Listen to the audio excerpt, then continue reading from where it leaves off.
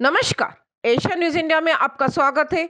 मैं प्रिया, आपके साथ। आइए देखते हैं मध्य प्रदेश की कुछ प्रमुख खबरें। तीर्थ श्री सम्मेश शिखर जी के लिए उज्जैन में मिला बंद को समर्थन। नौ घंटे जैन समाज ने जताया विरोध। इंदौर में ट्रेडिंग में पैसा डूबा तो कारोबारी के बेटे ने खुद के अपहरण की साजिश रची गिरफ़्तार।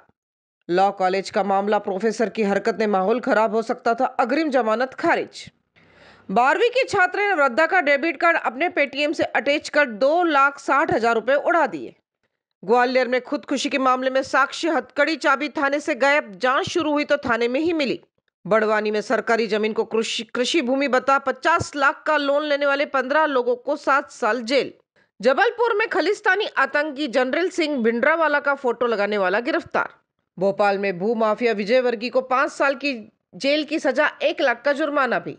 भोपाल में स्वास्थ्य कर्मचारियों ने काम बंद, प्रस्ताव टाला, संविदा कर्मियों की हड़ताल जारी। मुरैना में पहाड़गढ़ के जंगल में पहुँचा रणथम्बोर का बाघ, एक मवेशी का क्या शिकार? छिंदवाड़ा के सीएमएचओ व सीधी के डीईओ के सस्पेंड आदेशों पर रोक। श्योपुर में फरवरी से पहले खुले जंगल में नहीं छोड़े जाएँगे चीते। प्रदेश के बारह निकायों के नियम विरुद्ध नियुक्तियाँ, छह में कम अनुभव वालों को प्रभार, नगरीय प्रशासन मंत्री से शिकायत।